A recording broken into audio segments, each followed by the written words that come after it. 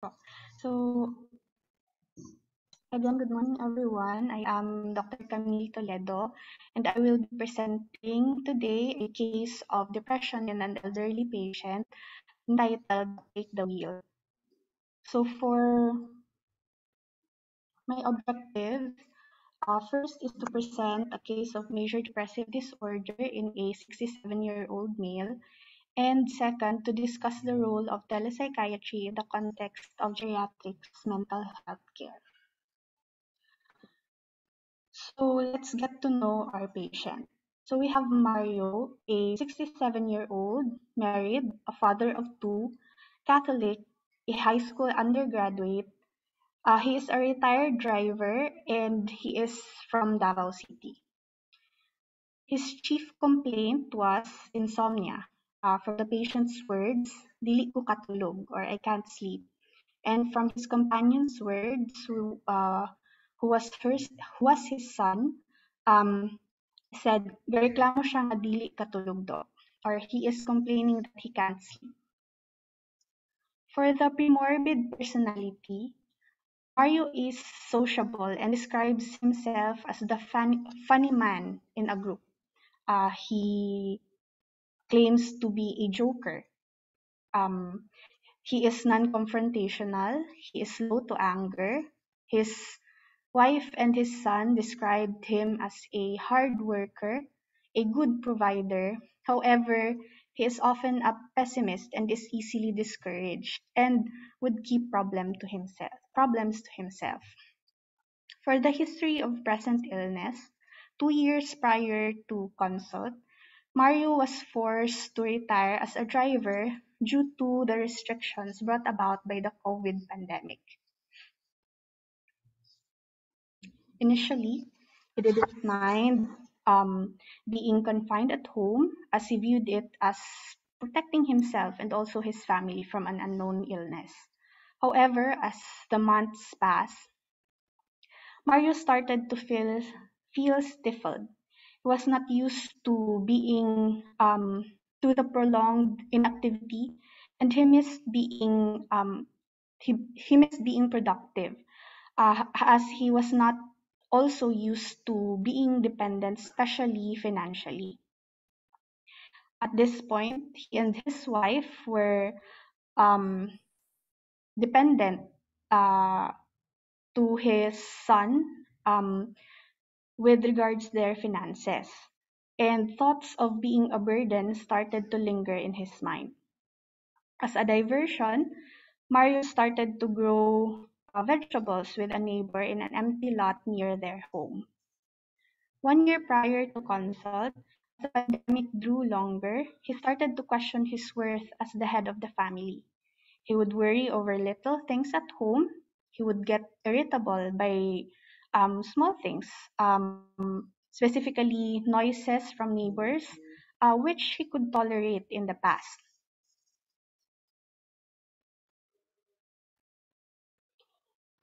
He even uh, got into an argument with a neighbor because of this. He also complained of constant aches and easy fatigability, which he easily dismissed as uh, his body longing for to return to work. He said that dili dili anad akong lawas nga walay trabaho maungaluya ko permi.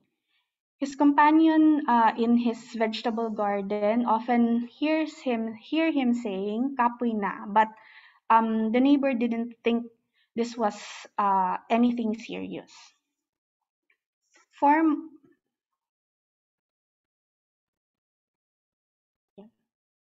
Four months prior to consult, um, his son married and moved out of the house. Um, Mario was happy about this, but uh, his son continued to finance them um, in their daily um, needs. Mario would often tell him that luoy na kaayo ka and um, still the thoughts of um, in still the thoughts of uh, inadequacy was still in his mind at this time. He also um, started to rarely visit his vegetable garden, and would often just lie down in the living room sofa. Three months prior to consult, he complained of being unable to urinate. His son noted this after he also heard a neighbor complaining the same thing. They decided to seek consult uh, as Mario was becoming distressed. He was uh, during that consult he was diagnosed with diabetes mellitus type 2 and was started on linagliptin and gliclazide. Full abdominal ultrasound was also done, uh, which revealed normal results. However, a urinary catheter was still inserted to aid his voiding as he was um, distressed about uh, in, uh, the, the problems with, with urinating.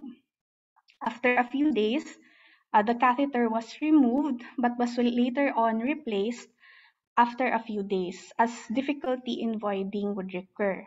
They made several ER visits to have a, the, a catheter inserted, even with the assurance of the physician that it was not necessary. He would constantly complain to his wife and his son about his condition, but Mario also felt frustrated that he was becoming more of a burden. One month prior to consult, um, the above symptoms persisted, now associated with hopelessness. He would ask God that he would be he that um he would ask God that he be granted eternal rest as he was already tired of the many ER visits. He was complaining of not being able to urinate, and out of his frustration, he took a knife and slashed his left wrist. He claimed that he could hear voices telling him to end his life. Fortunately, his son was at home and saw his father bleeding. Thus, uh, he took him to the ER and his wrist was sutured and the catheter was again um, inserted to help him void. No referral to psychiatry was advised during this time. They were discharged with antibiotic medications and was advised to follow up after one week for, for possible suture removal. When they were back home, Mario claims that he regretted what he has done, as it was considered a sin to commit suicide. His catheter was eventually removed during their follow-up and was he was able to void without problems.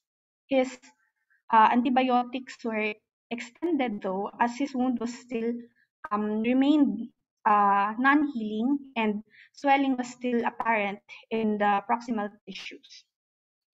He was observed to becoming more pessimistic when there, um, at one point, when their washing machine got broken, um, he constantly worried that his wife would be burdened and would look at it as his failure, uh, as his failure, and it would have been better that he was dead. Mario was now having problems with his sleep and he became preoccupied with sleeping that even uh, during uh, his uh, that even if he couldn't sleep during his siesta um, would worry him. Said that he felt weaker as the days passed. Worried because of mario's wound and uh, as it was still not healing his son brought him to another surgeon and was told that the cut was too deep um, and could have involved nerves and blood vessels, which explains why um, it was not healing well. Um, they were offered that uh, it be repaired, however, the cost was too much, thus, this, thus they declined it.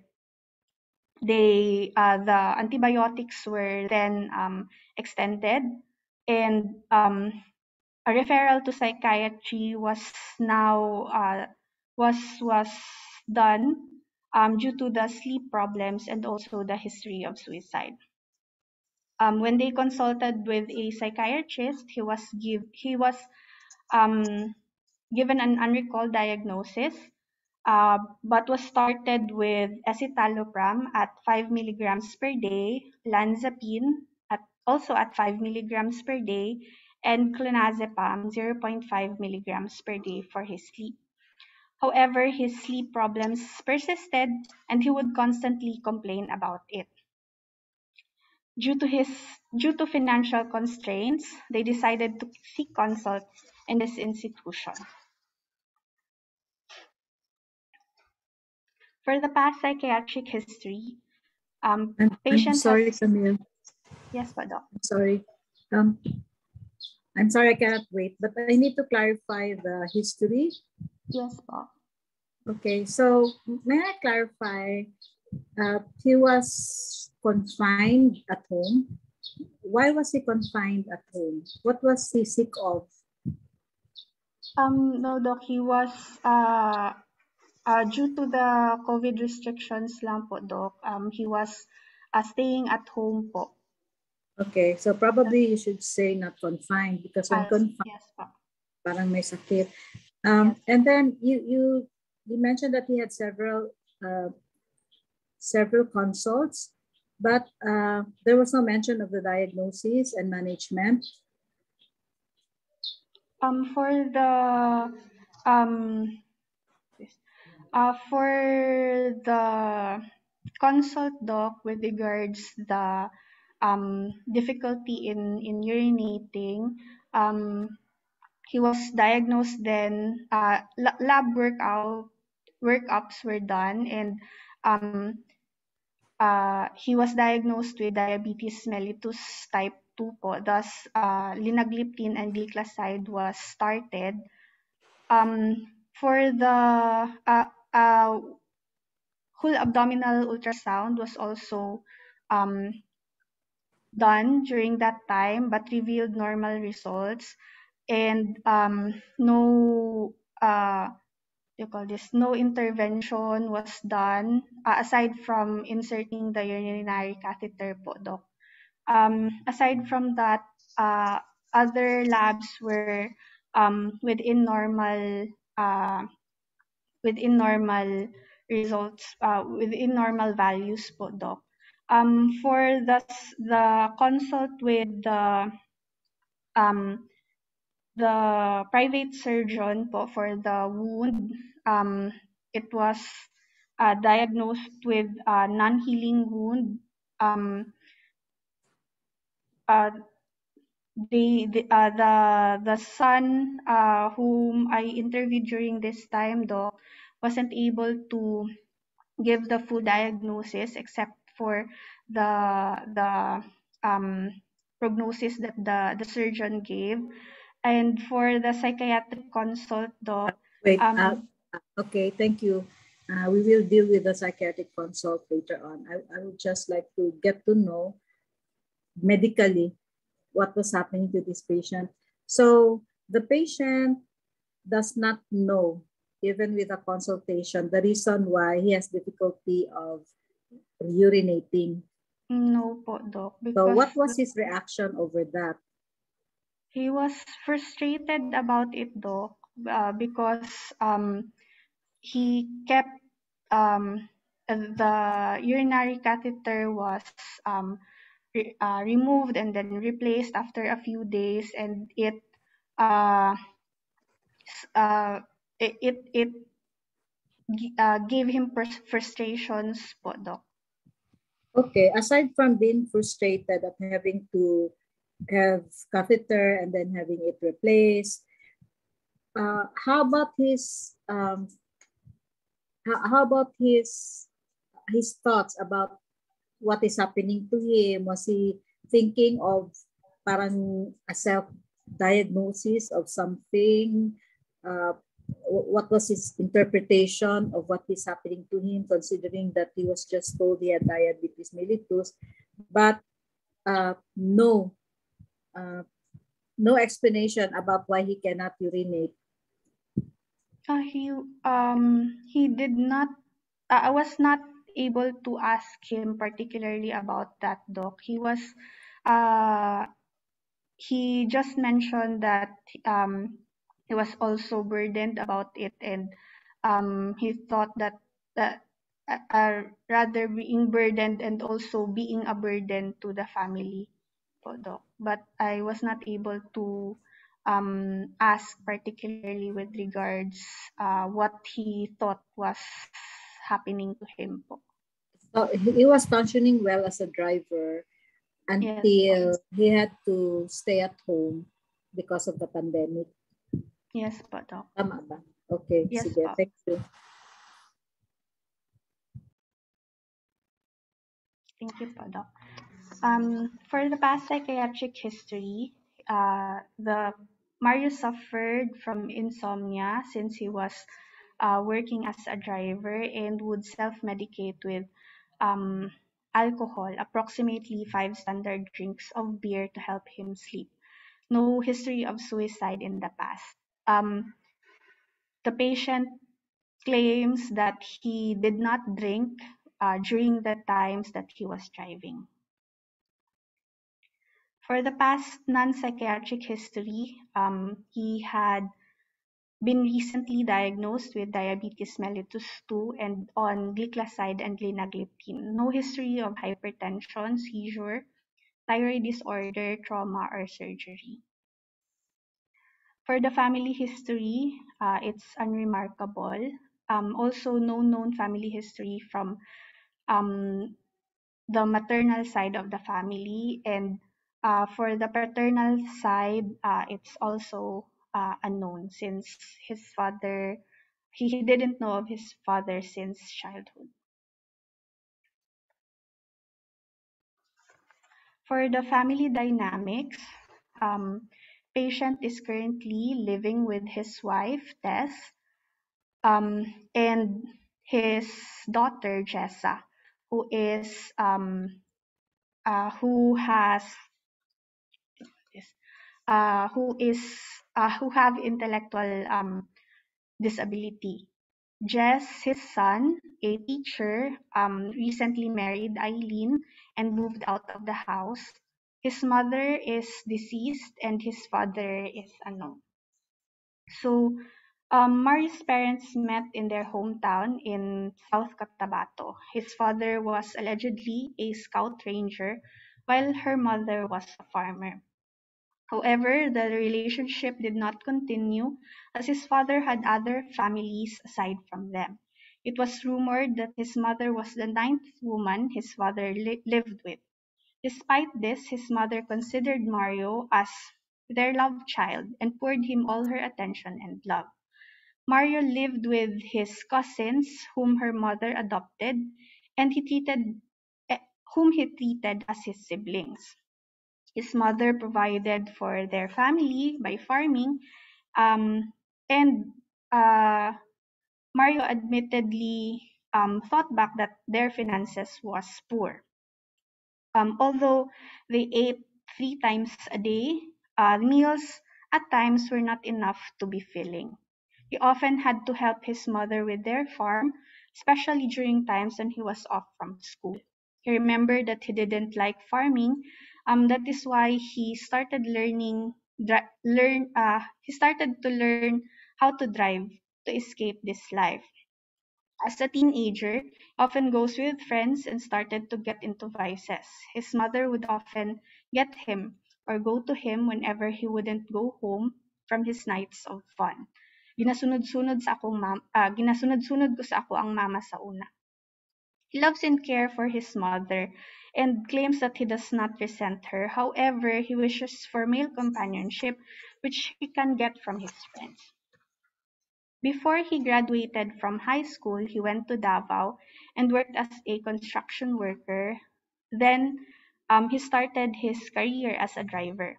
He met his wife, uh, also in Davao City, and they returned to South Cotabato to form a family, start a family.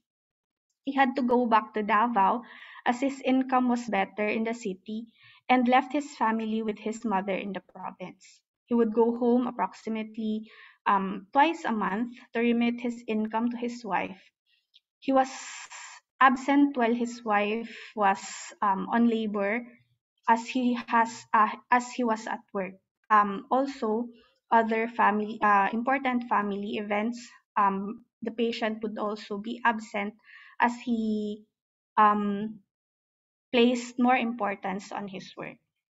When his mother died, uh, in his late 30s, he moved his family to Davao and continued providing for, me- for them by means of his driving. They are already a growing family of four, thus, he needed to make extra hours to provide enough for his family. Um, his motto, according to him, was to have their pantry uh, always fit, uh, to have their fan- pantry always be filled with food. Um, however, the decision the decisions were usually um, or the decision maker in the family was his wife, and he rarely supervised or disciplined his children as he was always at work. And we- he- when he was home, he would usually be, be resting. Although he finds time to eat dinner with his family whenever he is home, um, his interactions with them are limited. Um, but his son has high respects for him because of his hard work. Sorry. So for the personal and social history, um, Mario was the only child of his parents. However, he grew up with four other cousins whom he considered his siblings. He was born via an uh, normal spontaneous delivery at home, assisted by a traditional birth attendant. Uh, there was a, there were no known um, postpartum complications reported. For the infancy, um, he was breastfed, uh, but he had no recollection um, or information as to the duration um, of breastfeeding. His mother was the primary caregiver and provider for their family as his father had already left them. For the toddler period, he um, claims to have uh, do not recall uh, this period in his life, and there was also no um, reliable informant. For the preschool years, um, Mario did not attend uh, preschool as it was not the norm at that time. His playmates were his cousins as they were from um, they were far from other households. For the middle years, um, Mario started school at age seven. He recalled that his school was a distance away from their house and that he and his cousins, ne- cousins needed to walk daily to get there. He had a lot of friends at school, um, but had average grades. Uh, at this age, he was already helping his mother in their farm, especially during the weekends. However, he didn't like farming and started to learn to drive from older friends in his adolescent years, um, started to spend more time with his friends drinking, which may, made her his mother worry. Um, he didn't finish high school um, due to financial constraints and because he wanted to already earn a living. Started to work in their farm, but due to the low income and uncertainty of um, uh, the income from the crops, he decided to uh, go to Davao as, and work as a construction worker and uh, eventually as a driver. He decided to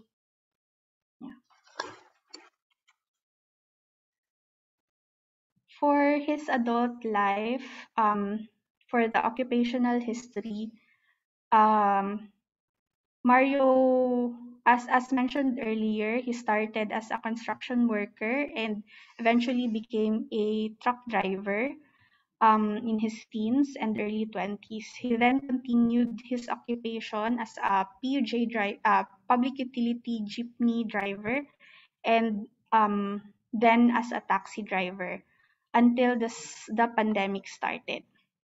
He is very dedicated to his job, and this has been his bread and butter since then. He often misses family occasions like birth of his first child um, and um, other family gatherings. He would also miss family outings as he doesn't want to waste an opportunity for her for him to earn a live uh, for him to earn.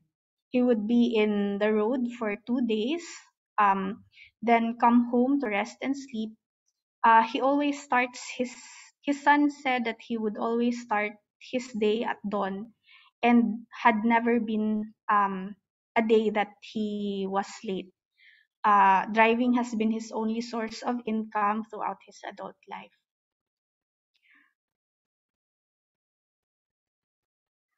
For his sexual and um, marital and relationship history, um, Mario had one previous relationship prior to marrying his his wife in his early 20s. Um, however, his wife was his first sexual relationship. During the time when his wife was in South Cotabato and he was in Davao City for work, he claims to have had several extramarital affairs, uh, which he only told his wife recently. He said that he loved his children and he views them as a blessing. He was not vocal and expressive about his affection, but would show it by providing for his family and making sure that they had enough to eat. For the religion, Mario is a Roman Catholic but is not active in church. He believes in God and that suicide is a sin. For the social activity, often chat, chats with neighbors and also uh, with his co-drivers. Uh, um, he usually have um, drinking sessions with, also with neighbors when he is at home. Um, however, he did not participate in any sport activities or um, gatherings, and um, he also did not have any hobbies. For the legal history, uh, there was no, there were no history of arrest, no military history, and he claims that he was never intoxicated with alcohol while he was driving. For the finances, the main source of income uh, for the family is from his um, from his job as a driver. Uh, his son also contributed to the finances uh, when he uh, started working in his college years and would partly pay for the bills. His wife is in charge of budgeting for the family and he leaves a small amount for himself for buying um, alcohol. For his hopes and dreams, uh, he hopes of being able to provide for his family until his old age and live comfortably. For the substance history, he denies using tobacco. Um, for alcohol, he started at the age of 13 due to peer pressure. Um, his uh, he would usually drink around five standard drinks of beer uh, whenever he is home. So that's around um, uh, three to four, uh, three, uh, two to three times a week. Um, aside from his uh, drinking sessions with his friends at their barangay. So um, his last uh, intake was in uh, December 2021. He denied any use of cannabis, uh, stimulants, and um, other uh, illegal substances. Um, any questions for, for before I move to the mental status exam?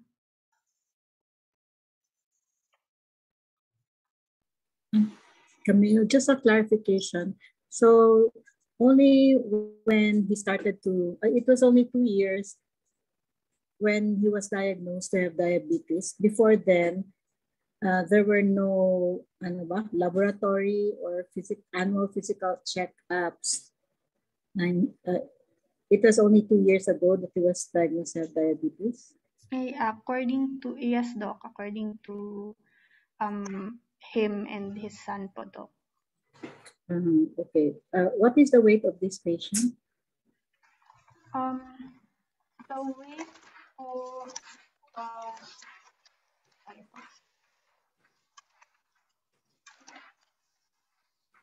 um, his weight po was 49 kilograms, doc. He was underweight po, with BMI of 18.2. Sorry, I did not get it. BMI of? 18.2, Doc. Ah, okay. okay.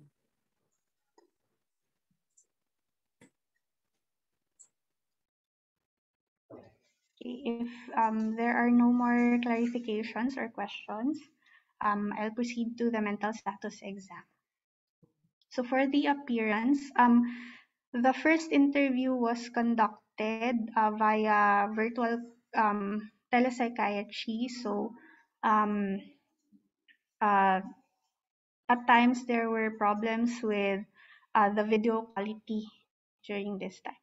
So um, the patient's appearance, he was uh, seen um, lying in bed while the consult was ongoing. Uh, he was wearing a red t-shirt and shorts. Um, he had a thin appearance and he appeared older than his chronological age. Uh, there were there was note of a gauze on his right or left rather left wrist. For the behavior and psychomotor activity, he was calm and initially cooperative. Um, he didn't sit up during the consult as he was afraid of becoming dizzy. Um, he would look at the monitor um, when the camera is directed at him. Uh, there was no note of tremors or other movement disorders. He was initially cooperative to questions until um, the part uh, the the tests for concentration and attention um, for the MSE. Um, his mood was depressed with appropriate affect. He had mixed insomnia, um, no changes in appetite, he had no also no diurnal um, variations. His he had decreased libido. Um, attention was good. Um, he would direct his attention towards the camera when prompted. For the speech, um, he spoke in Visaya, uh, had a low tone of voice, but was coherent and comprehensible. He denied uh, perceptual disturbances at this time. He had linear thought process and goal directed. He had persecutory delusions that his neighbors were talking about him. He was preoccupied with his sleep and had passive suicidal ideation. For the orientation, patient was oriented to the uh, to three spheres. Um, uh, he had impaired immediate memory uh, and uh, for the concentration and attention, no formal testing was done as the patient had already uh, refused to um, participate during this time. Um, judgment was unimpaired and insight was partial. For the physical examination, the patient was awake, conscious, and not in cardiopulmonary distress.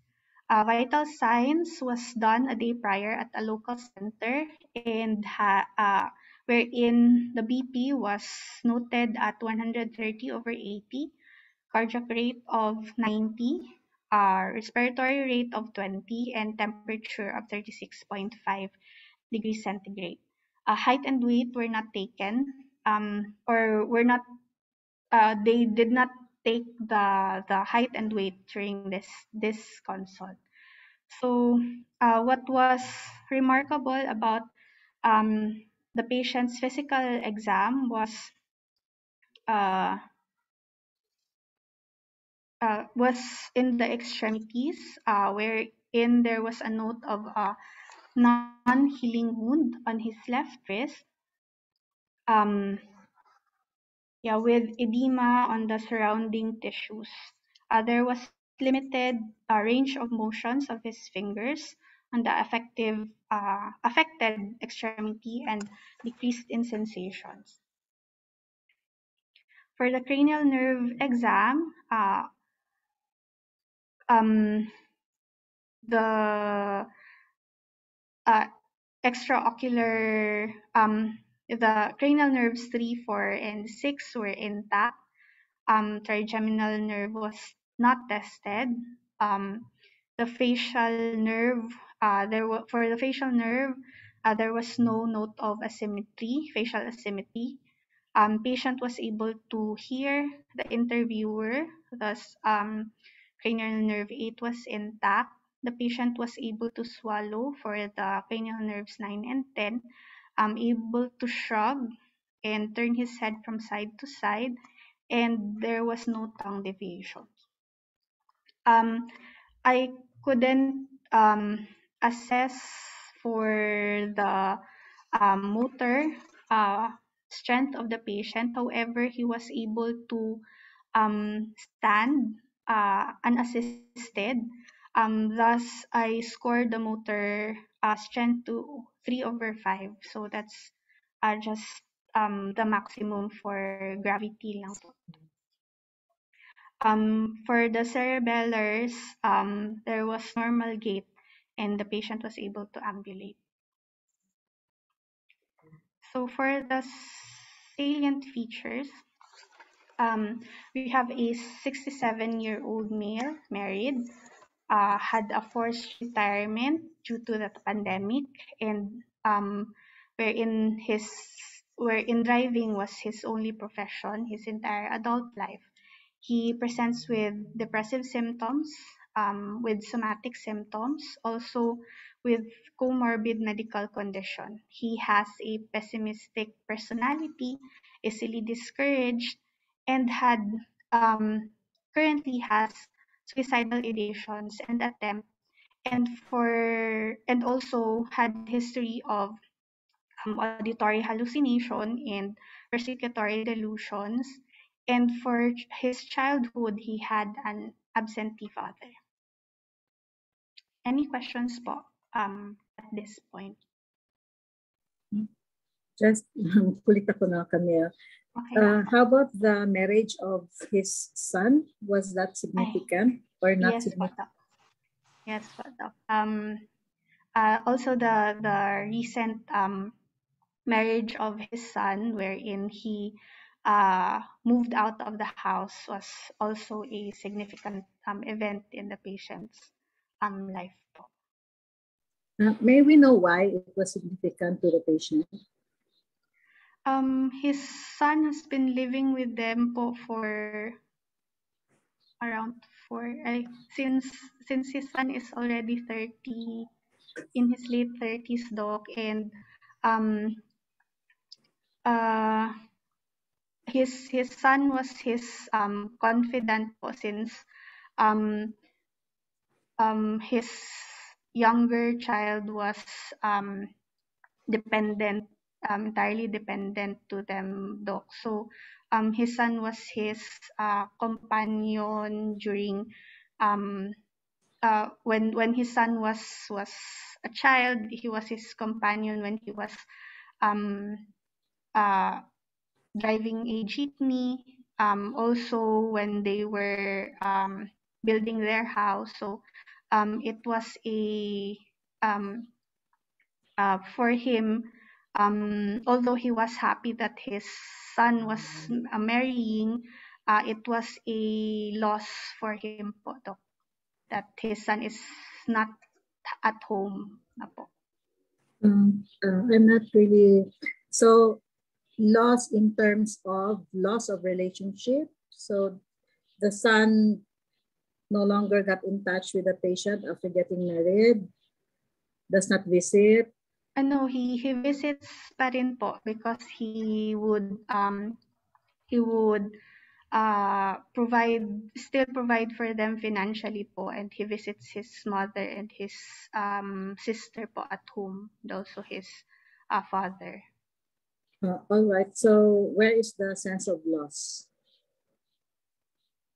Um, I have not clarified that with the patient. Yes. Um, Okay. yes. So kindly clarify because uh, Yes. when I asked the meaning of his son's marriage and living home, yan yung dapat isipin. Ano ba? What was the issue? What, what were the issues of the patient? Uh, was it financial? Was it the relationship? Fe- Feelings of loss of what? So so that we can we can gauge whether this is a stressor or not for the patient. Uh, that's all. Thank you. Thank you po, Doc. Uh, follow up. Yes po. Camille, at what stage of family life cycle is the family right now? In what stage of the family life cycle? Um, uh, sure. Um, this, uh, in this yung stage wherein.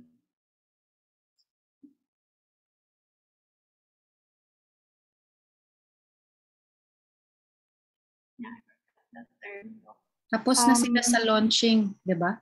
Or is are they still in the launching stage? Uh, they are still in the launching stage po, Doc.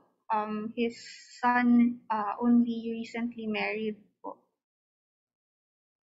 Nga is the son?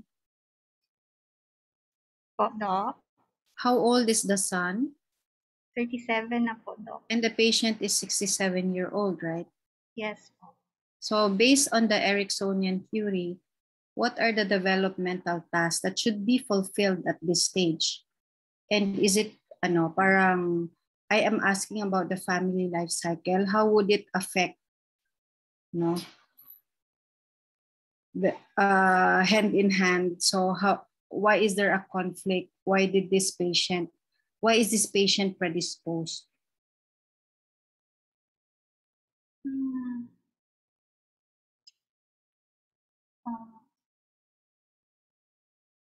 Connected kasi yun sa I- question ni Dr. Padilla.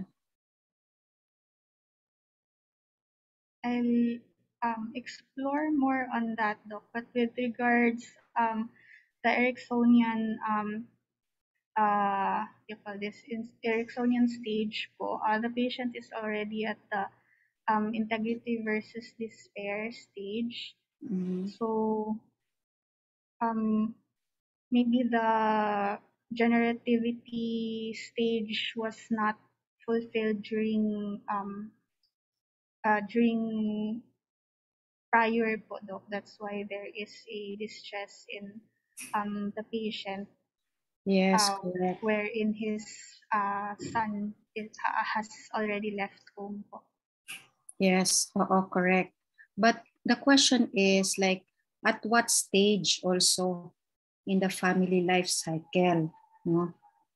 Uh, uh, in what stage na ang family right now in the family life cycle?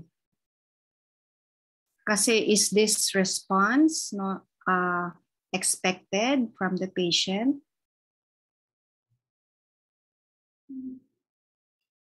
Na he would miss his son getting married? Mm.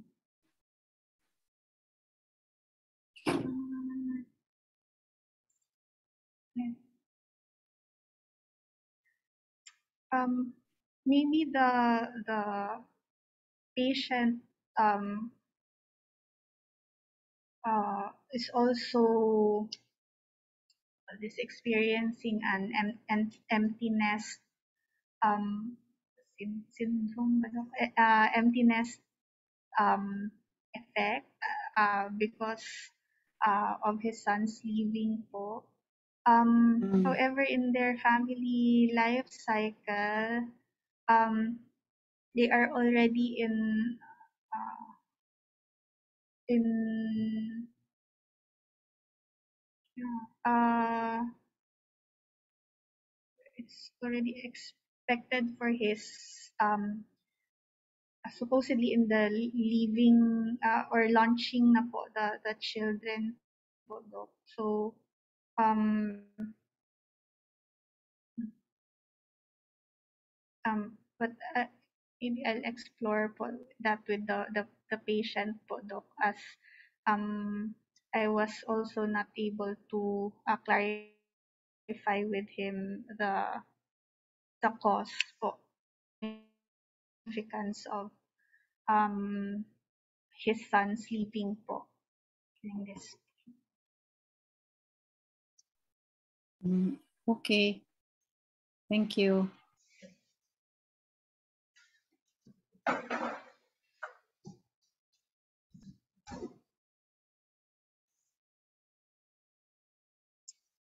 Sorry po. Um, are there any more questions po?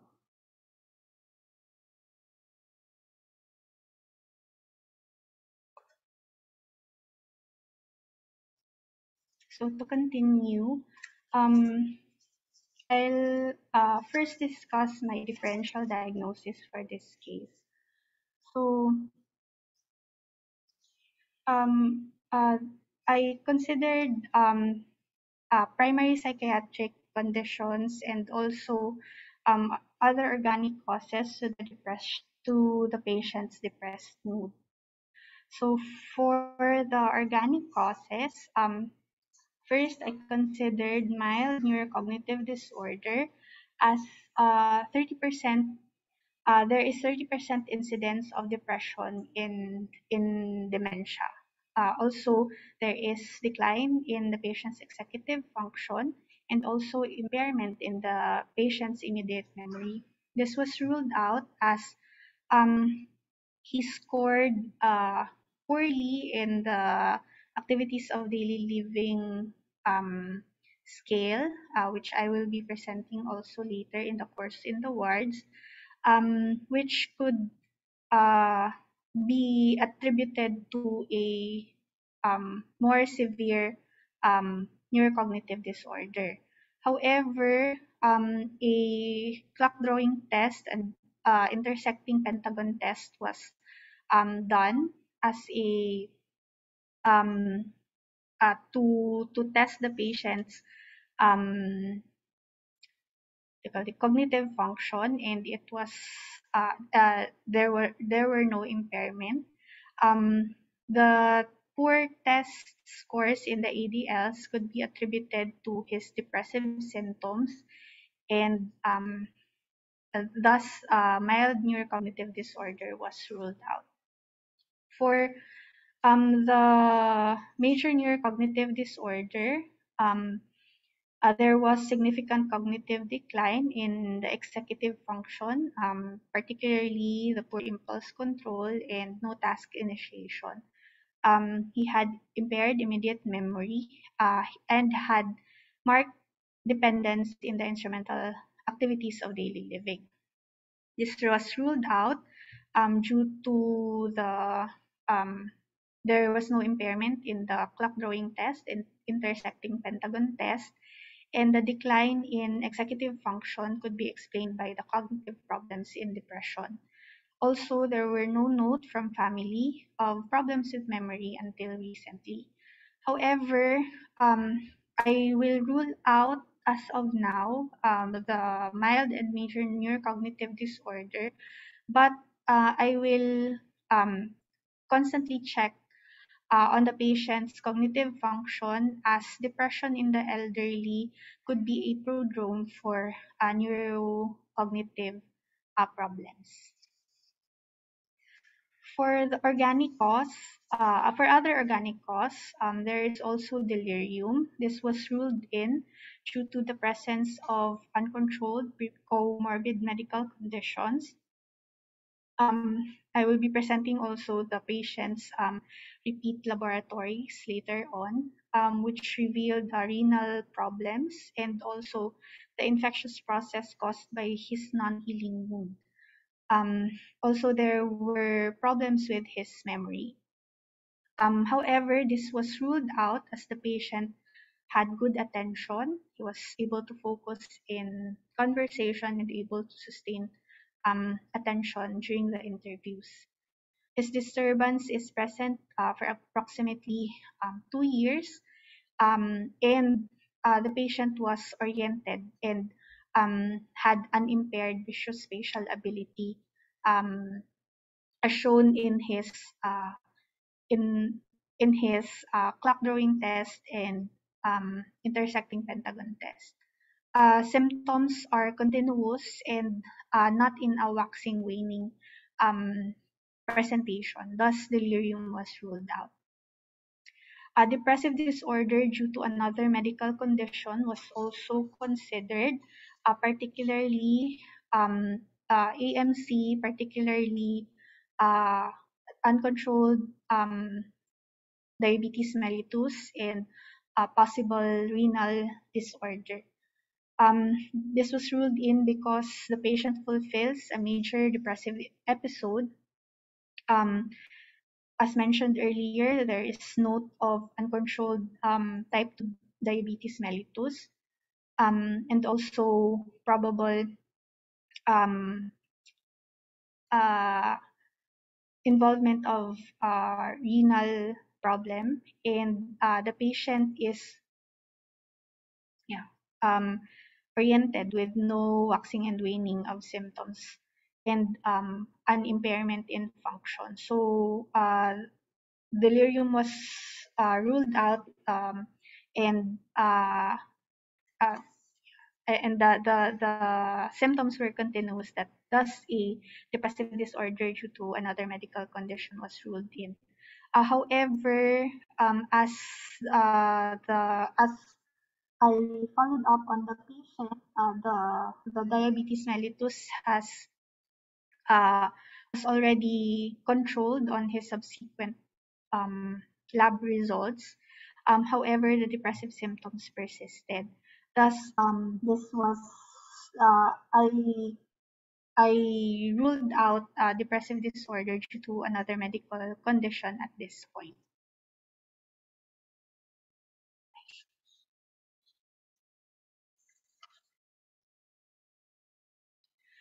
For the psychiatric, primary psychiatric um, disorders that were considered, first was schizophrenia. Um, this was ruled in because of the presence of delusions, hallucinations, and a significant decrease in function. However, this was ruled out um, since the mood symptoms were noted prior to onset of psychotic symptoms. And um, the last uh, differential diagnosis is major depressive disorder. This was ruled in due to note of depressed mood, um, irritability, uh, decreased interest in activities, hopelessness, weight loss, um, insomnia, uh, psychomotor retardation, his easy fatigability and loss of energy, his feelings of worthlessness, suicidal ideations and attempts, and uh, and um, uh, the the uh, presence of the cognitive triad of depression. Uh, there were no hypomanic episodes and um, depressed mood was noted uh, prior to onset of psychosis. Um, however, uh, medical conditions um, are still present um, and an infectious process is still ongoing. Um, thus, uh, uh, um, major, uh, I considered ruling out major depressive disorder, but um, uh, depression due to another medical condition, um, or, or rather the, the, the medical conditions are already um, being resolved or are resolving. Thus, um, I ruled in a major depressive disorder with psychotic features. So for the ICD-10 um, uh, coding, uh, it is major depression, single episode, F32.9. For the biopsychosocial formulation, um, the patient is, biological, biologically predisposed as he is an elderly. Um, although females are more commonly diagnosed with depression, however, males have um, uh, are uh, are more uh, uh, are known to be uh, to have a more um, uh, problems with with um, suicide attempts, um, wherein they have more um, complete. Uh, they uh, they have more suicide completion than females. Um, he had chronic alcohol use, which could have led to malnutrition, um, which decreases um, uh, this, um, uh, which decreases the uh, supply of um, neurotransmitters. Uh, also, his medical condition uh, is also a predisposing biological factor. For his psychological um, predisposing factor, um,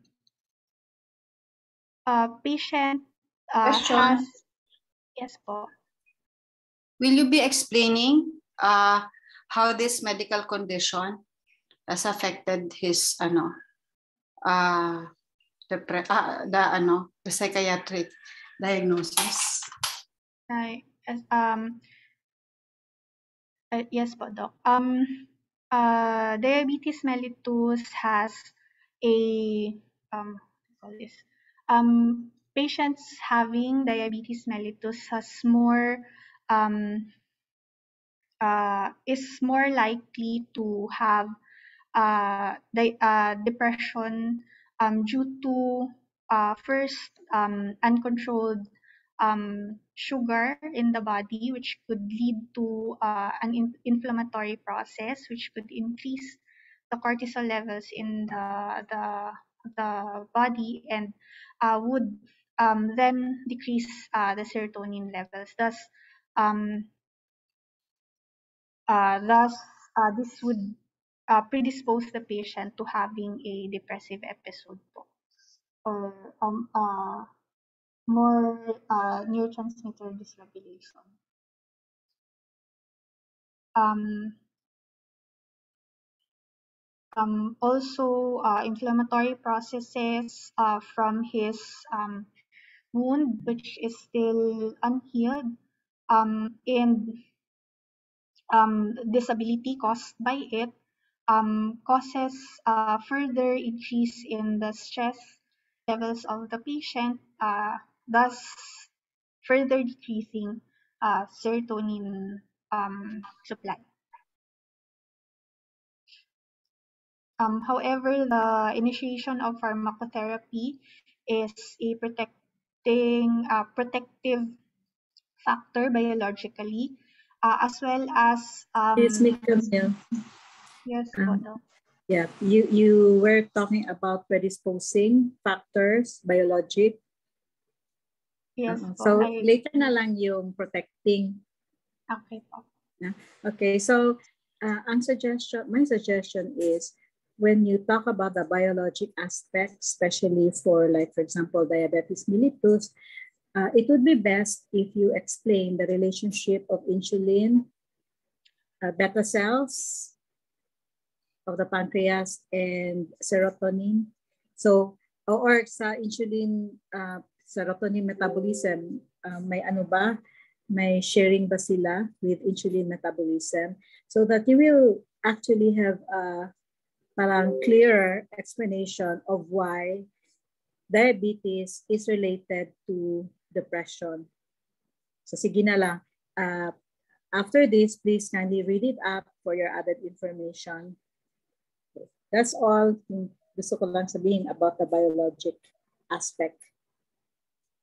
Yes po. Thank you po, Doc. Uh, and of course, sorry, and of course, uh, it was not mentioned what was the antibiotic given for the wound. So please check if the antibiotic given will uh, has psychiatric side effects, which may worsen the the depressive episode.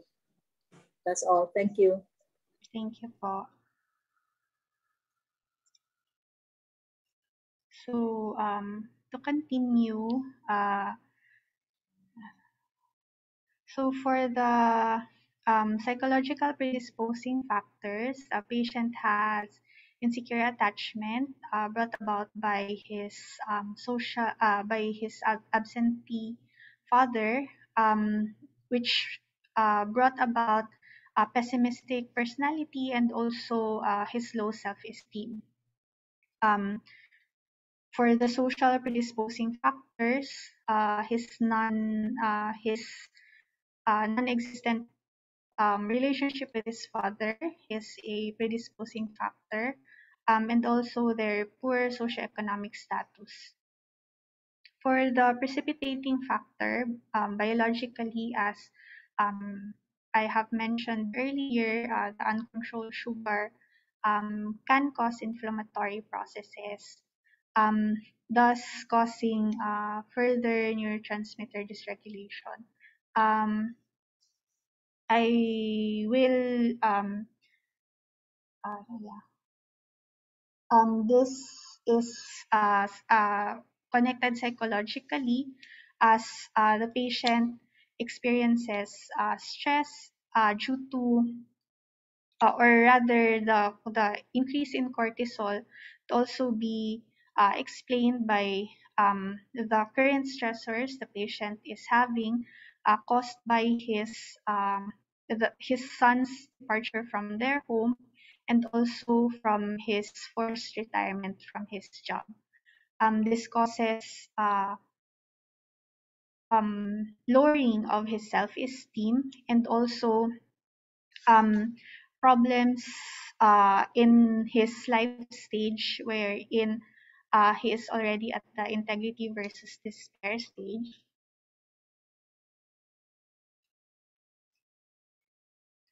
Um, for the perpetuating factors, uh, biologically, the uh, continued neurotransmitter dysregulation and also um, inflammatory processes caused by the non-healing wound and um, the disability brought about by um, by the the uh, by by this um, causes um, self stigma, uh, which furthers which further um, uh, which further brings the patient to a, a negative um, thought or perception of himself, um, also his future and, and his environment. Um, social stigma uh, due to his uh, suicide attempt, which he often hears from um, his neighbors, uh, causes also um, more uh, stress, uh, causes him more stress rather.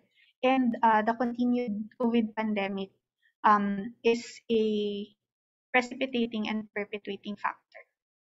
For the protective factors, uh, initiation of pharmacotherapy, um, and as well as control of comorbid medical conditions are biological protective factors. His resilience and his insight, although still partial, are psychological um, protective factors and for the social um, protective factors, uh, his immediate family, uh, particularly his wife and children, who are very supportive of him, as well as his extended family, um, particularly his daughter-in-law and um, uh, si sisters and brothers-in-law from his yeah uh, sisters and brother-in-law.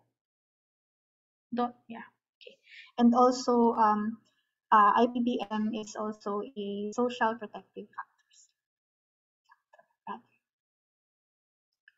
so here is my attempt to a psychodynamic formulation for this patient so uh, Mario's low self-esteem and uh, pessimistic way of thinking may be rooted to an insecure attachment style due to the absence of a father figure in his childhood. Although his mother provides for him both in affection and finances, seeks a sense of belongingness in his um, in a male figure and uh, saw this in his peers.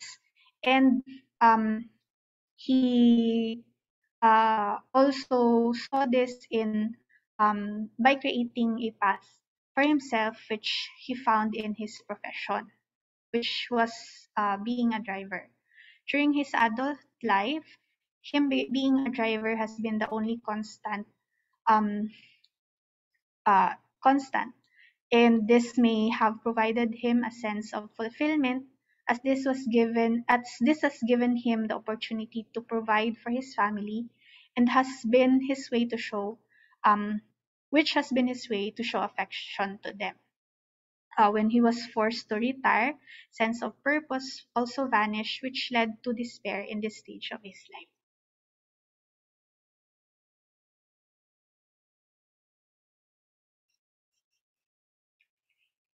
So um, during the first OPD consult, um, my uh, primary impression for this patient was major depressive disorder with psychotic features, to consider minor and major neurocognitive disorder, and also to consider, sorry, this is uh, depressive de de uh, depression secondary to another medical condition, uncontrolled uh, diabetes mellitus type 2, and infectious process um, due to a non-healing wound.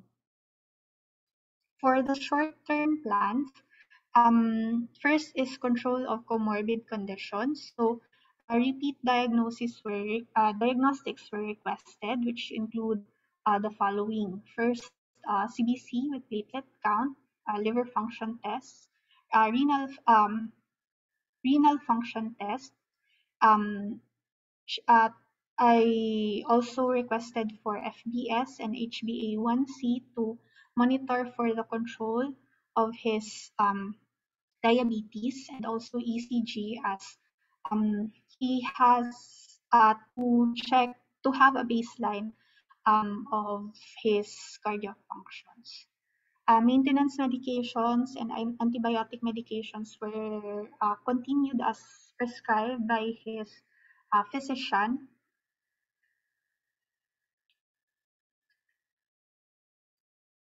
Um, also, um, uh, excuse me, uh, Camille.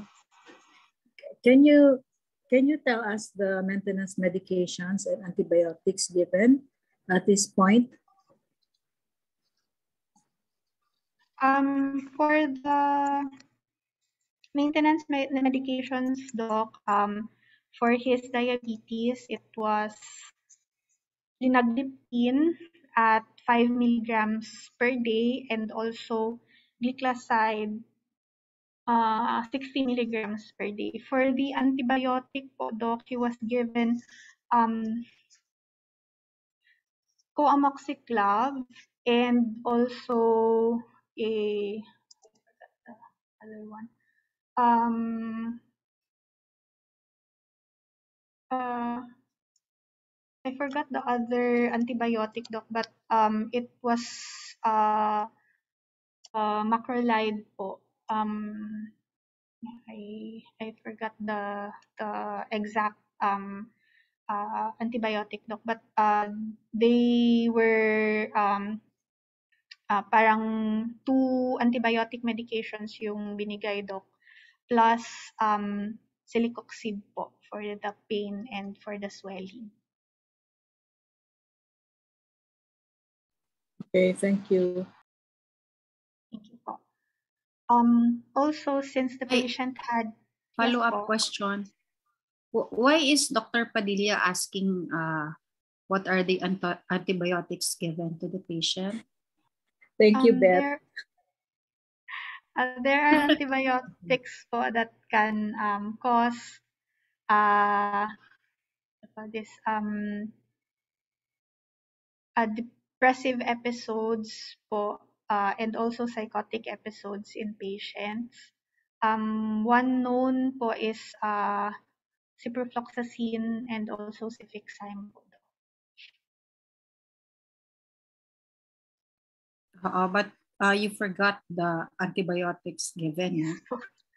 I'm sorry about that, Doc. So you need to know from yes. the very beginning since you you are ruling out uh, other condition other ano parang conditions that could have contributed no? Pwedeng ang pharmacology pwedeng maka-affect ang gamot. Yes po. Thank you for for that reminder po um to continue uh since the patient had a previous suicide attempt suicide risk assessment was done and also safety planning. um, for his um, for the suicide um, for for his suicide uh, risk assessment um, uh, here are his uh, suicide risk factors so um, the patient had a prior attempt had a stressful life event has a physical illness he is unemployed and has advancing age for the acute um, risk factors um, still with suicidal ideations are purposelessness, insomnia, and hopelessness. Um, for the protective factors, the patient is married and has children and um, has interpersonal support. So um, if we uh, factor the, these in, uh, I consider the patient to be at the moderate um, suicide risk, uh, wherein um, thus uh, these steps or these plans were discussed with the family. So um, his follow-ups were um, reiterated that uh, they, they or follow-up schedules uh, with um, me and also their um, uh, phys- um, medical uh, physician for his medical condition was um, reiterated that they should follow up. Um, the family has been um, psychoeducated with regards support for the patient, uh, means restriction, so all possible uh, sharps or um, any uh, um, items at home that can be used for suicide should be um, removed. Uh, they are advised to come to IPBM um, if there if the the thoughts uh, kept um, uh, or if the thoughts uh, continue to linger or um, if an attempt is considered already um, yeah uh, the medications for his mood uh, symptoms have been continued as was previously prescribed um, and also uh, th- this was um, uh, the seventh item was also um, uh, uh, this was also um, been discussed. This has also been discussed to them, uh, wherein there could be a possibility of hospitalization if um, the risk for suicide increases.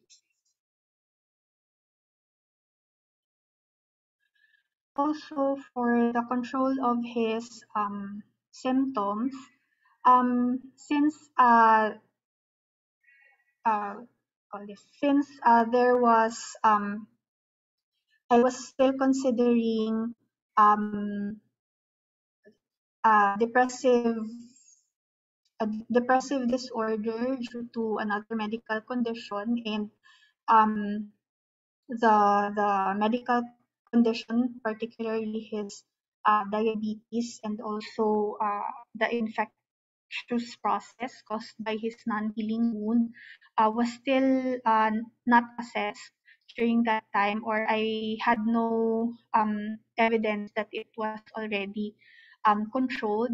Thus, uh, the escitalopram was um, was uh, maintained at 5 milligrams per day at this time and plans to increase once the lab results are already in. Um, uh, they were advised to follow up once with once the lab re results uh, have already um, uh, once they have the lab results.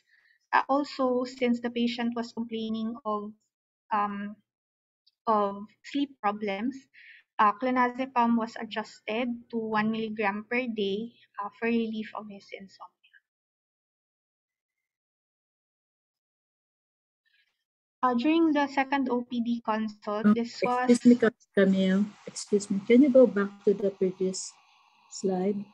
Okay, so there was, uh, you have to increase uh, to one milligram clonazepam for relief.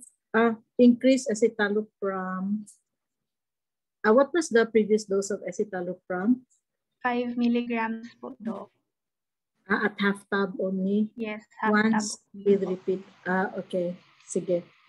Okay. Thank you. Oh, by the way, um, how was the thought content of your patient? He still had suicidal ideations po, Doc. Um, he, uh, he, he was more preoccupied now with his sleep.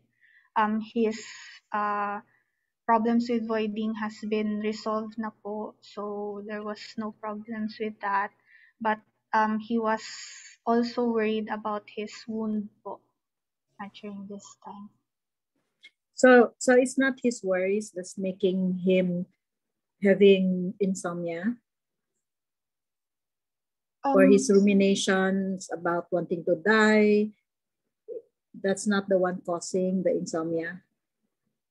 Uh, he he did say doc that um he would often uh, think about those things uh, when he is resting, but uh, even if um he wants to to sleep during his uh, during uh, siesta time, doc, uh, he would still have difficulties um even if he is not thinking about um his uh, worries.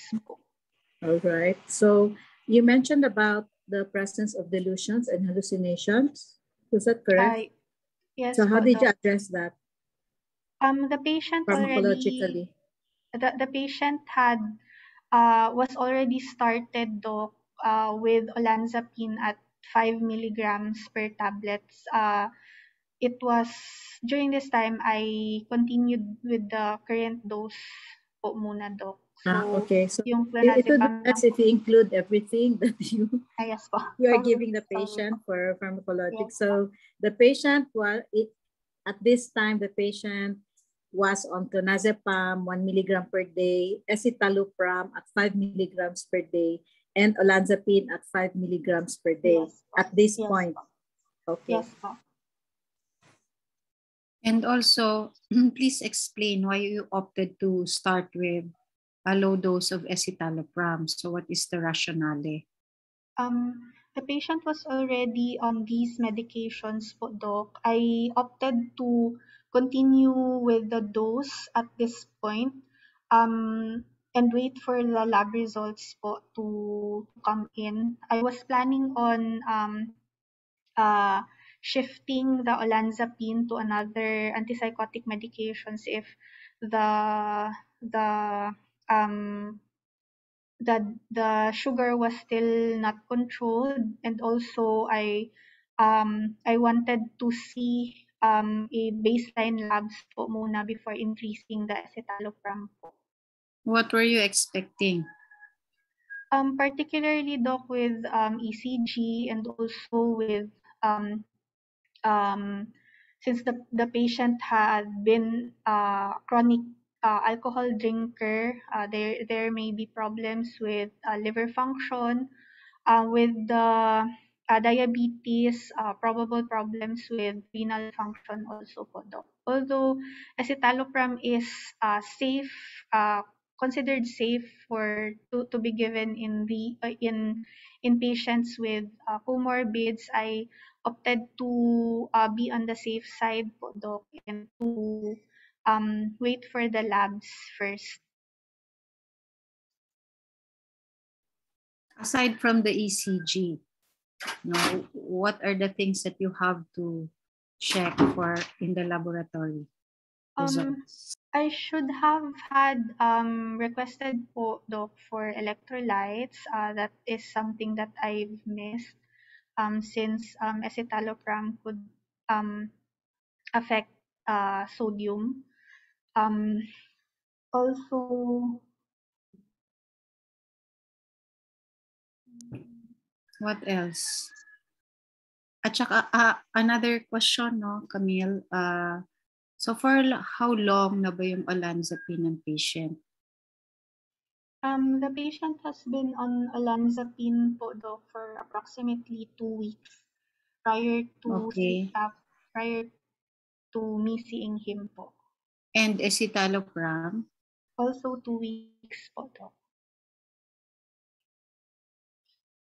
Did you see any adverse effect? Um, Or did you see any improvement since the patient was already started on olanzapine and escitalopram and still you Um, opted to be at a low dose of escitalopram? Yes po. Uh, for the mood po, it remained, um, uh, there was no improvement noted. However, with the auditory hallucinations po, Doc, um, it, uh, uh, the patient denied it at the time I saw him. Uh, however, the, there were still persecutory delusions po during that time. Okay, so what would you expect also no, from escitalopram? How would it affect the blood picture of the patient? Uh, how would it affect the, pardon Blood picture. What what possible adverse effect would you watch out for in escitalopram?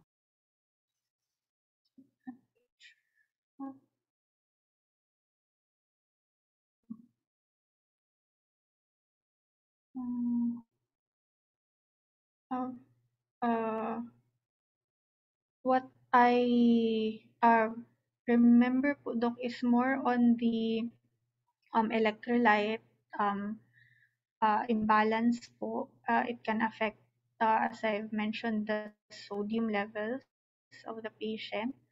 Um,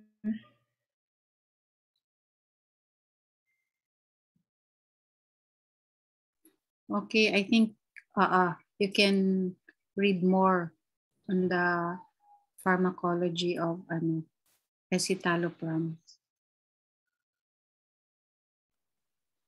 Uh, just uh, an additional question lang. Uh, considering that this patient is diabetic, is olanzapine the best choice?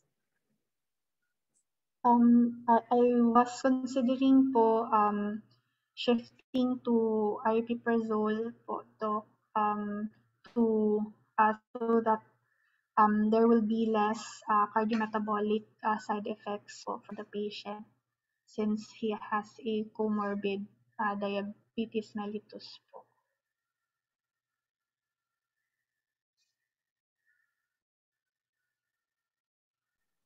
So why did you just continue uh, continue the olanzapine? Um, since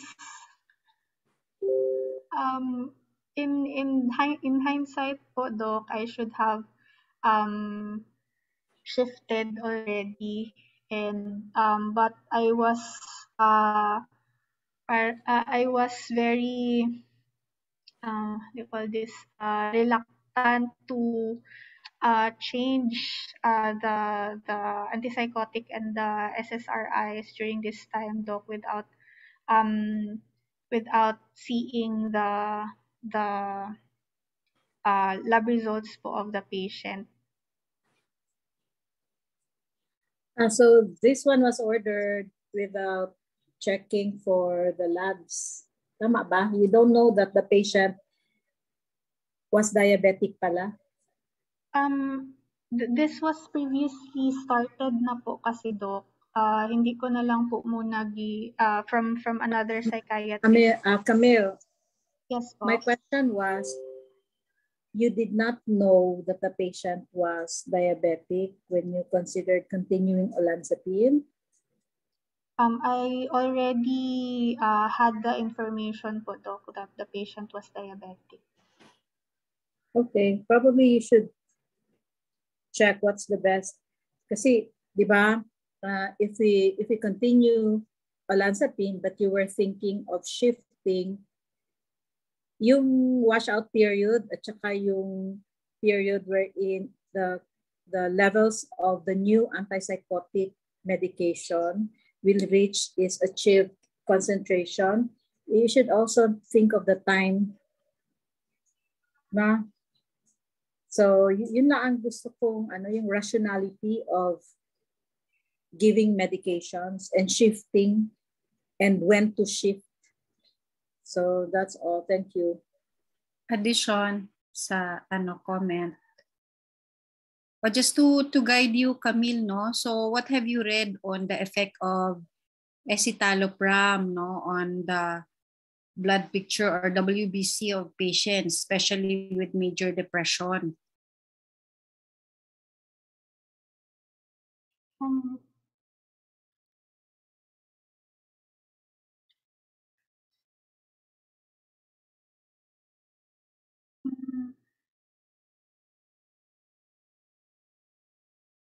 uh, So there are some studies no that would ano uh, conclude that it could affect the lymphocyte count. So considering that uh, your patient is immunocompromised, has diabetes, no, do you think escitalopram is a drug of choice?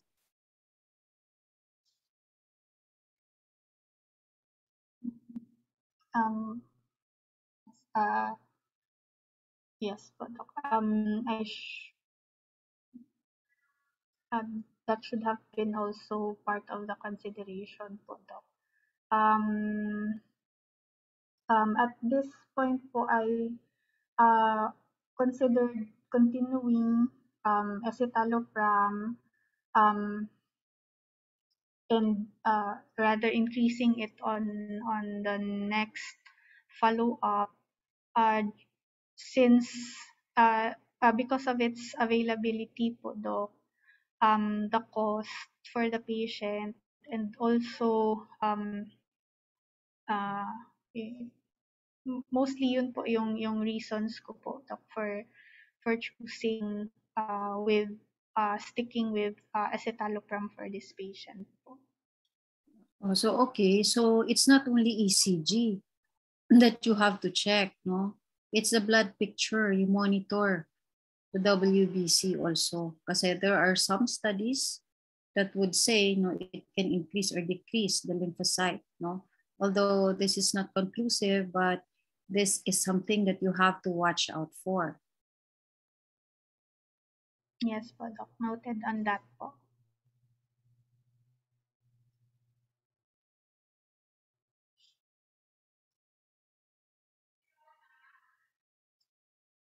To continue, on the patient's uh, second OPD consult, um, he had good compliance to medications. He had improved improved sleep with the medications. Um, he was still preoccupied with worries about uh, things at home um, and would is easily still get irritable um, and annoyed with noise from people outside uh, or from neighbors rather.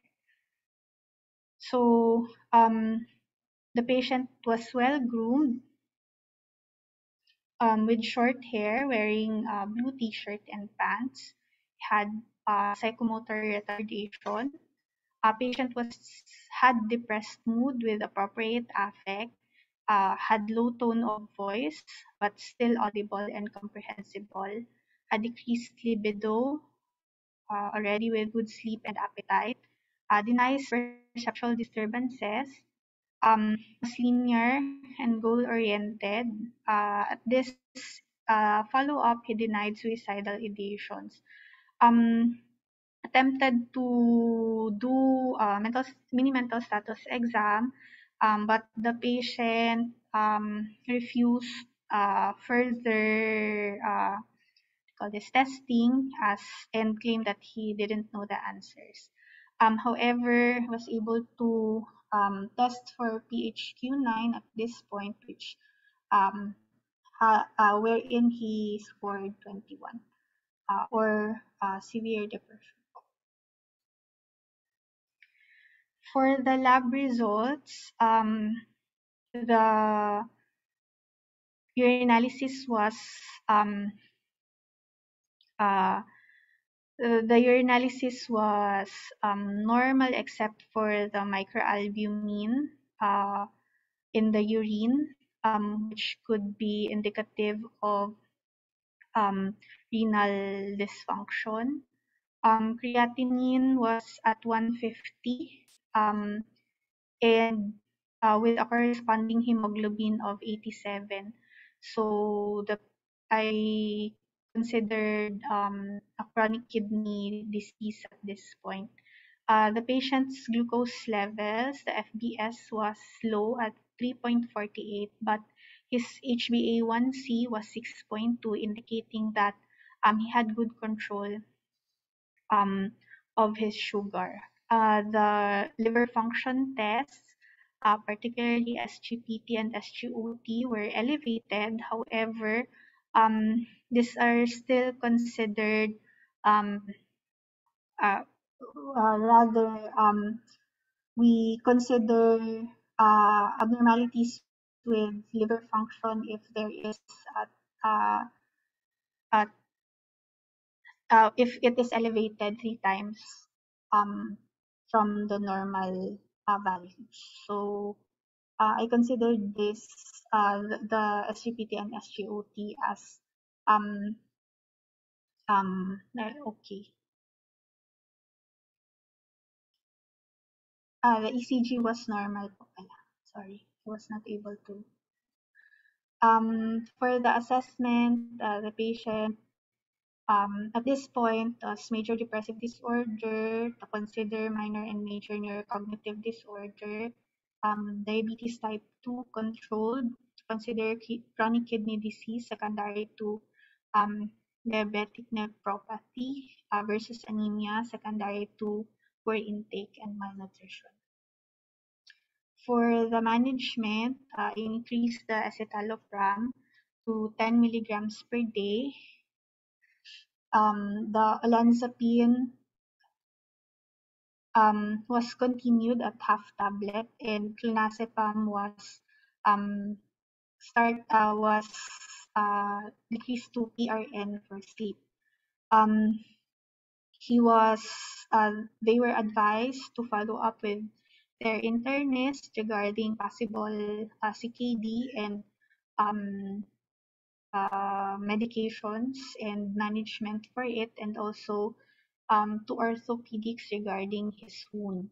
Um, they were advised to follow up um, uh, with psychiatry after two weeks and safety planning was reiterated. So um, for the choice in medications, um, uh, uh, based on the CANMAT recommendations, the duloxetine is superior as first-line treatment for late-life depression with level 1 evidence as compared to um, uh, the, the treatment of choice um, at this uh, for this patient, uh, which was escitalopram with um, uh, level 3 or 4 evidence. However, it is still considered first-line treatment, um, but um, it was chosen due to the availability, uh, the tolerability, and the safety profile.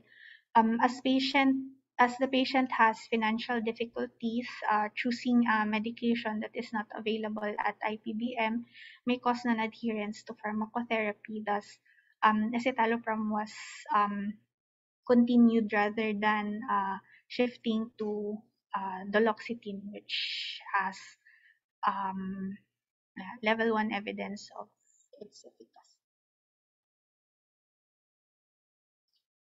So for the third um, OPD consult, the patient uh, had uh, good compliance to medications with improved sleep, noted to increase activities at home, wherein he would help out with household chores like taking out the trash or sweeping the floor.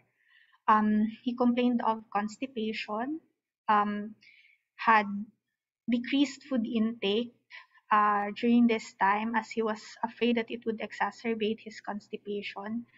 Um, he had follow up with their uh, surgeon, uh, with their private um, surgeon and antibiotic medications were already discontinued. Uh, wound is um, healing but still with swelling on adjacent tissues. He was seen uh, during this time via a teleconsult. Uh, he was well groomed, wearing a red t-shirt and shorts, and lying in his usual spot at, at their living room. He had he still had depressed mood with appropriate affect, moderately soft tone of voice. He denied perceptual disturbances and also um, uh, uh, delusions at this time. He was preoccupied uh, since his uh, sleep was already okay. He was now preoccupied with constip his constipation. Um, he was oriented to three spheres um, and was able to name objects such as watch and pen. He had passive suicidal ideations wherein he would uh, pray that he could um, uh, already rest, but um, has also has regrets um, of uh, his past suicide attempt. Uh, he regrets doing it rather. Um, he had an impaired judgment and partial insight. Um, he was aware of his problems but was unwilling to come in for face-to-face consult since he was afraid um, that he would get in an accident en route as he uh, needed to ride a motorcycle going to the hospital. So um, uh, we discussed this um, uh, further and we uh, agreed that uh, his follow-ups could uh, be done via uh, tele teleconsultation um, in his future in the future. So um, the draw a clock test was um, performed and also the intersecting um, pentagon test, which shows um, uh, are normal. So um, also the instrumental activities of daily living scale was um, uh, I had the family score this. However, in hindsight, um, I should have used another tool as uh, the patient was um, does not do shopping, laundry, or other um, activities um, at home. So this um, scale may not have been uh, the, the, the most appropriate for him at this time. Uh, for the assessment, uh, major depressive disorder, still um, considering depressive disorder due to another medical condition, uh, diabetes mellitus type 2 controlled, uh, to consider chronic kidney disease secondary to diabetes mellitus type 2 versus anemia secondary to poor intake. And also uh, a constipation, uh, probably secondary to um, medications, particularly I'm thinking more of um, olanzapine at this time causing um, the constipation. So um, since the, the, there is improvement in the patient's functions, um, um, however, um, it's still not um, at optimal. I decided to increase the citalopram to 15 milligrams per day.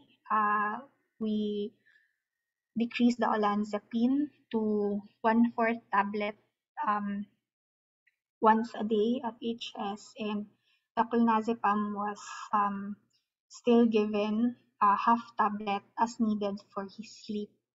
Um, uh, we negotiated, uh, or rather I negotiated with the patient to continue follow-up and his, uh, his uh, mode of follow-up, uh, his choice for his follow-up was through virtual consultation. That's why um, we agreed to continue on um, telepsychiatry as uh, to uh, we agreed on telepsychiatry as his mode of um, consult. Uh, a referral letter, uh, since the the the son was um, uh, was already uh, had problems also financially, um, and they were thinking of um, consulting with internal medicine and orthopedics at SPMC. However, um, the patient was reluctant to to go face to face to to have his checkup face to face. Thus, uh, I, I advised the uh, teleconsult platform of SPMC and a referral letter was given to them to IM for um, continued um, management of his uh, diabetes and for um, uh, evaluation of possible uh, kid, chronic kidney disease and to orthopedics for uh, evaluation of his wound as um, he, he had already problems with um, the range in motion of the affected hand and also there was decrease in um, the uh, um, perception uh, in the affected hand also. So um, I plan on uh, referring also to physical therapy. Um, safety planning was still reiterated and um, I'm uh, planning to start the patient on cognitive behavioral therapy, uh, which I am still studying for a uh, what this for a parang online nga platform po. Th- there are already um, studies or uh, with regard CBT done virtually, uh, which I need to um, to read more on rather um, before uh, starting and um, also to to control more on his um, symptoms before um, psychotherapy is initiated. Camille, I have a question. Yes. Uh, since the patient has a lot of issues regarding ano, parang fulfilling the different developmental tasks, so do you think at this point CBT would be effective? Um, I was uh well, my focus po doc is more on his um yung negative na na cognitive uh, cognition niya po kasi doc. So um that's why I was uh, considering CBT first po doc.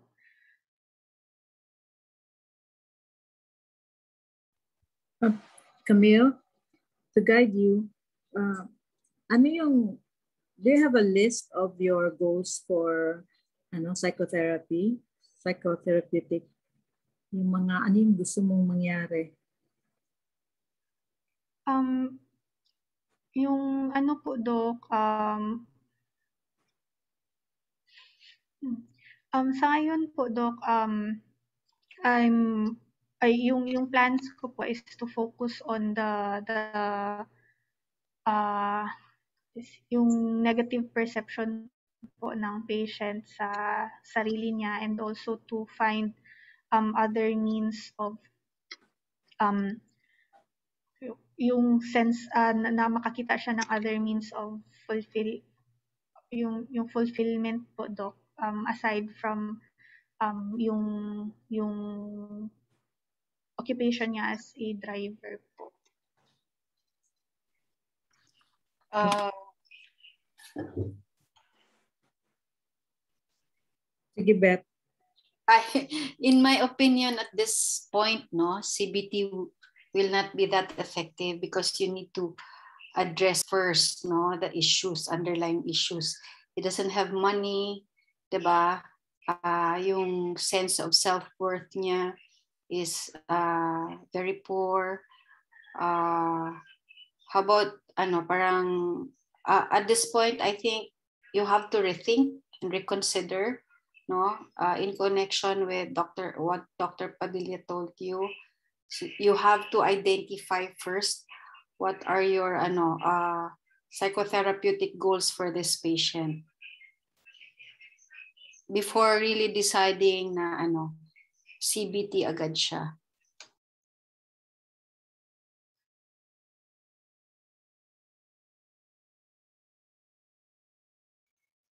Thank you po, Doc. And then what is the educational attainment of this patient? Uh, high school undergraduate po, Doc.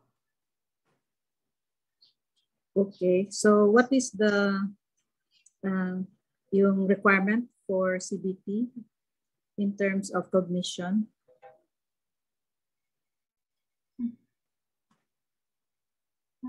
Cognitive ability? um, So, di ba may mga requirements? So, did the patient fit uh, the Um, requirements uh, so that CBT will be successful? I'll, I'll review on it po, Doc. This point, I Okay, so whatever therapeutic interventions you, you plan, always think of yung pinaka priority na anong kailangan ng patient. Second, uh, what kind of therapeutic intervention you want to do and why. And is the patient a candidate for the psychotherapeutic intervention you want to do? No? Tapos, when you think of the problem list of your patient, you think holistic siya, sarili niya, tapos yung mga stressors niya, environment, so that you will you will also choose ano yung pinaka best for now, for now, ngayon, na immediate, na you, you- can actually help the patient with yung mga immediate needs niya. So, uh, 67 years old man ito, no? yes po, Tama. Okay. Sige. 67 po. Ang sug- Uh, I suggest uh, this is a good ano uh, this is a good patient for you to practice your psychotherapy. I suggest you have this supervised. Yes. Yun lang. Thank you. Thank you po. For a 67-year-old, how malleable is the mind, no, to accept the CBT process? So maybe it's something that you have to consider also.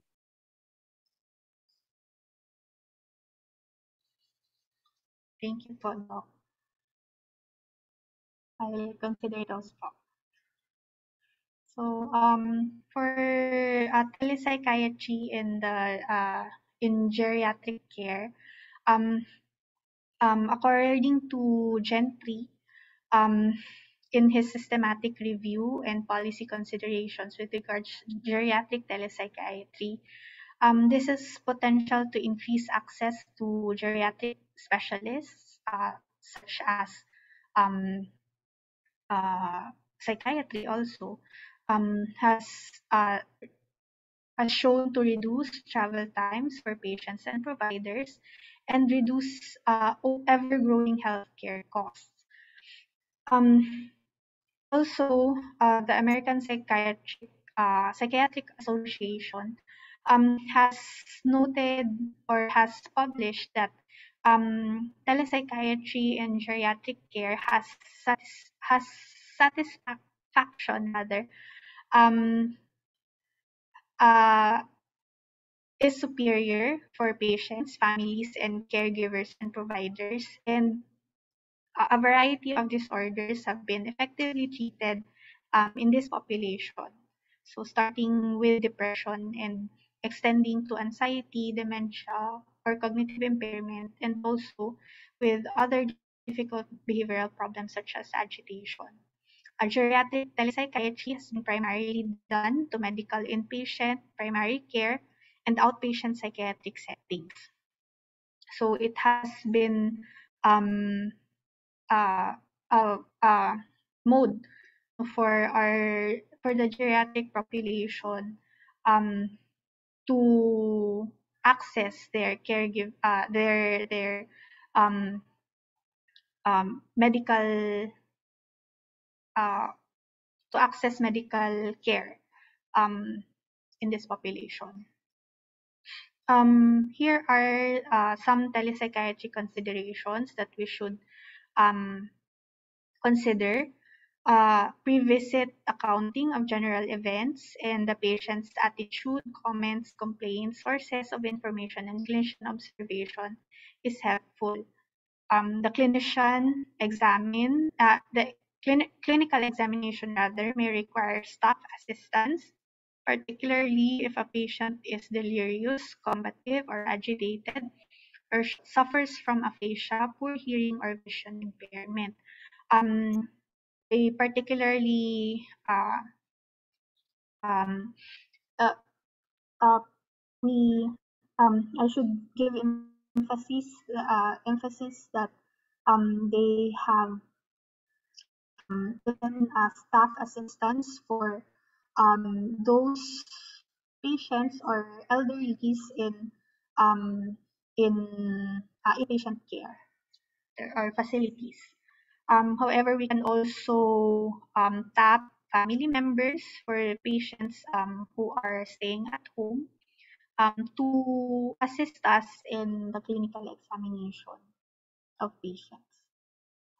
For the physical exam, camera control at the far end enables easy wide-angle, close-up, and focused viewing of to detect tremors, micrographia, and other psychomotor symptoms. However, staff may need to be trained to check for extrapyramidal side effects like cogwheel rigidity. Um, there is uh, uh, there is um, already studies with regards telepsychiatry for geriatric population, specifically in inpatient and also um, in in in the elderly uh, living um, in facilities. However, for patients who are in the community, um, this there is limited information um, with regards um, telepsychiatry um, for them. Um, there are barriers uh, that were um, noted uh, in literature um, with regards telemedicine in as a whole, and not just telepsychiatry. So, uh, first is the technical.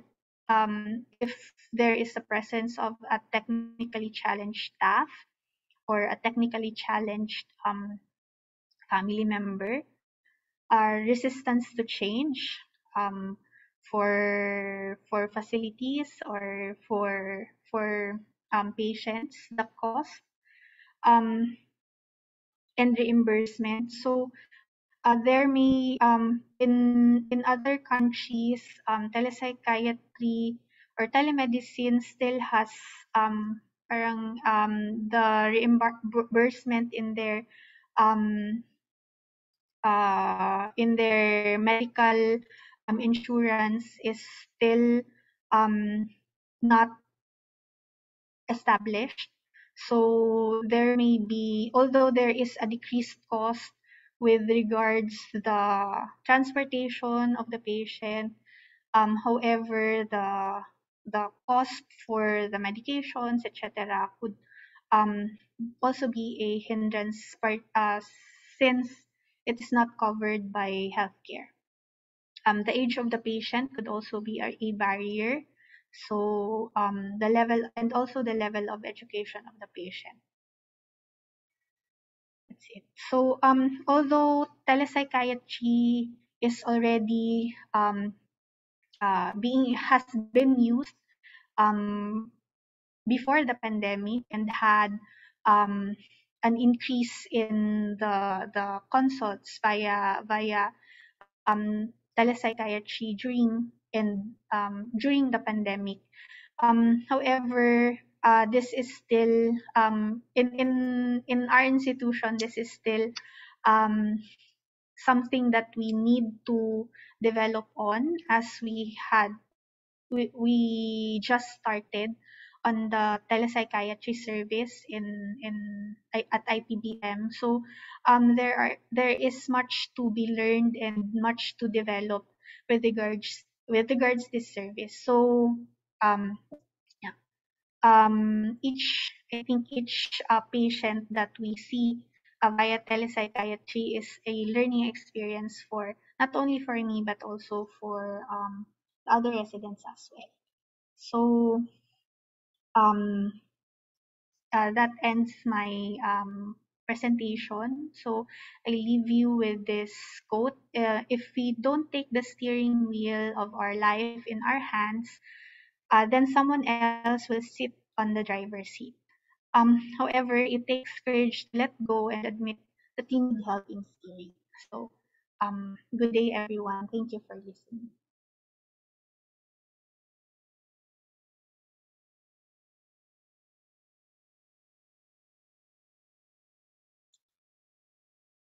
Do we have any additional questions, clarifications? Not na? Uh, this is a good case to be supervised by your CL consultant siguro rin. I agree, Doc. Um, if there are no more questions or clarifications, good day everyone for the uh, for the consultants. Um, please do uh, the scoring in the, I already sent it in the chat. Thank you and good day everyone. Thank you po, doctors. Thank you, Doc. Thank you and good day. Thank you po.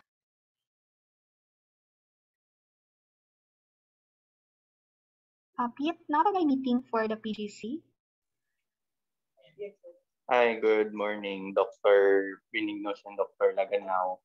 Uh, so we will be using this link po, Doc, for our postgrad uh, course meeting po. Thank you. Other interns may leave also.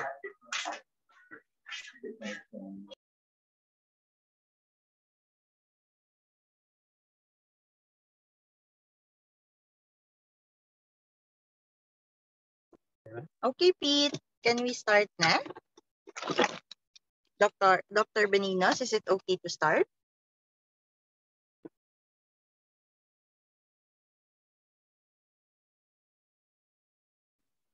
Good morning, Doc. I think, I think Doc Benignos went out po. I-message po namin siya ulit.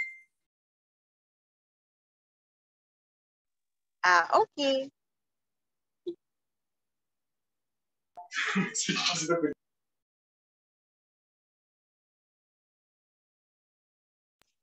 Hello, Mike. Uh, can you give us the host na host sa amin siya?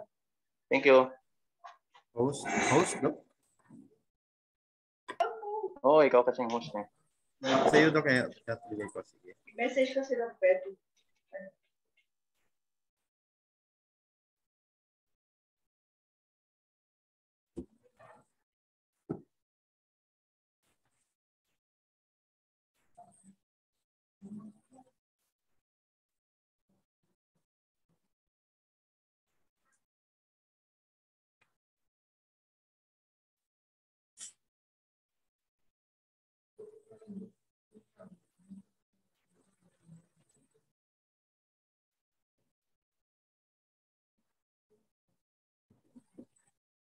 Ay, Doc, will wait for Dr. Benignos lang also for Doc.